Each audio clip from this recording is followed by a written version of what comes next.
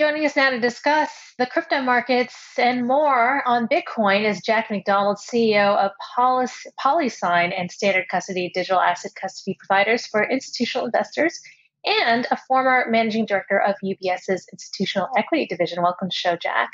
So we're seeing Bitcoin within a very narrow trading range. The top question I get asked is Is this a buying opportunity? Well, I've certainly been buying, and uh, I do think it's a long term uh, buying opportunity. Obviously, that question begs an answer around what your investment uh, philosophy is, what your time horizon is. But certainly, the hodlers and people who have a longer term view around this emerging asset class have to view this as a buying opportunity. Mm-hmm. So, do you have a short term view of what is happening versus your end of year outlook on Bitcoin?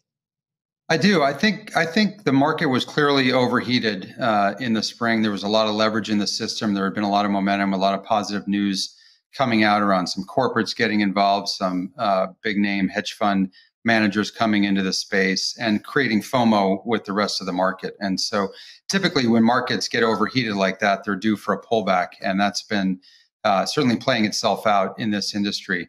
I think uh, what you've seen is a lot of deleveraging uh, coming out of the market. You've seen, I think, uh, typical pullback in the Bitcoin market. We see this every year where you see these kind of drawdowns. And we also see it in more traditional markets, you know, the, the provisional um, uh, wisdom around sell in May and go away. Uh, that you see in the equity markets uh, may have something to bear here as well. And so I think this is a healthy uh, opportunity in the market. Uh, we've recently announced a, a Series B uh, partnership with Cowen the investment bank and working a lot together with their clients to understand what the level of interest mm-hmm. is right now with institutions coming into the space. And we're actually finding a very healthy attitude towards coming in with long term investment horizons and putting some money to work. And this opportunity where the markets are just kind of flat here gives a more thoughtful approach for institutions to come in. So Right. So, as a crypto custodian that you head, what what are institutional investors up to? Are you seeing more sellers than holders and buyers right now, or is it the other way around? I think we're seeing um, right now. We're starting to see more. Um, I, I, think there's been a lot of selling, obviously, in the market, which has driven the price down. But what we're seeing more than anything right now is institutions who are doing the work, who may have been investing around the periphery. It could be having invested in uh, some public companies, there aren't many uh, out there, obviously Coinbase, Galaxy, uh, to name really the two.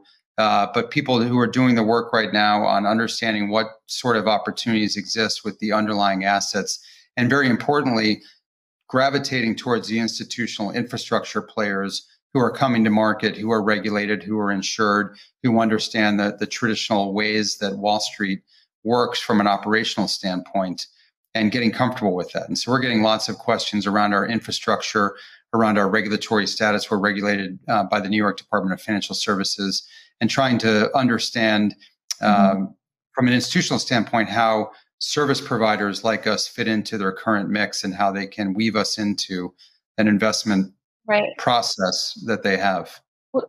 We often say that large investors putting coins on exchanges is a sign that there is more selling activity. Do you see more so called whales putting coins onto exchanges or moving uh, their crypto in that direction? That's that's not a, a, direct view that we have, as we're not an exchange, uh, and so we see it more on the uh, deposit side coming in and the transfer side coming out. So uh, I don't feel like I've got a, a, a informed enough view on that specific uh, aspect. But I think clearly you can see enough. the trends, you know, that are going on. Now, Jack, just one last question. You, you left UBS, which is Switzerland's largest bank and one of the top wealth managers in the world, for crypto. Do you recommend that decision to those in traditional finance? I get lots of questions from my traditional finance friends, and I, I, think traditional finance is starting to reinvent itself. Obviously, large institutions have to be very thoughtful; they have lots of considerations, so it takes time. Um, and and there are blessings and curses with with large organizations. We are finding pockets of innovation with some of the larger uh, sell side firms. We're certainly seeing it on the buy side firms. I think that ultimately comes down to uh, personal preference. If you want to walk, work for uh, smaller startups or entrepreneurial firms, uh, there are challenges there as well. I certainly, from a personal standpoint, have found it incredibly rewarding. I'm learning a ton. I'm meeting some fascinating people. And I do think that there will be this nexus between uh, the traditional um, asset management and financial services industry and this new marketplace. So we're all going to meet again in the end, uh, but there are different paths to get there. And I certainly don't regret my choice at all. Mm-hmm.